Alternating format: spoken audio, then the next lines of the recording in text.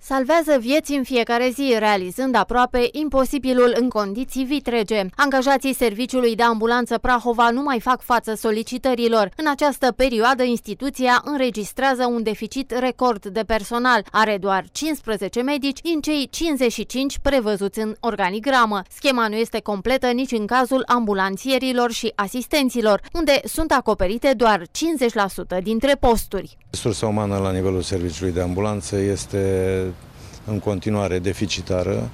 Lucrăm cu o acoperire doar de 60% față de normativul de personal care ar trebui să fie la Serviciul Județean de Ambulanță Prahova, raportat la nevoile de asistență medicală de urgență prespitalicească ale județului.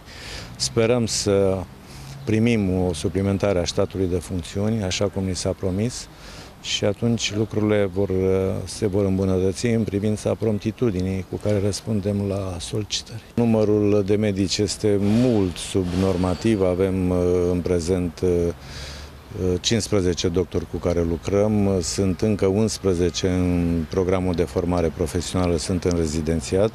Un lucru foarte bun pentru că de-a lungul timpului ne-am străduit să aducem medici tineri în serviciu de ambulanță. Nu știm cât vor rămâne din aceștia să lucreze în serviciu de ambulanță. Zilnic, serviciul de ambulanță Prahova este solicitat în medie la 300 de cazuri așa că la cazuri ajung de cele mai multe ori doar ambulanța cu asistent, fără medic. În plus, din cauza deficitului de personal, timpul în care se ajunge la intervenții este afectat. Un număr foarte mare de solicitări comparativ cu posibilitățile noastre de răspuns.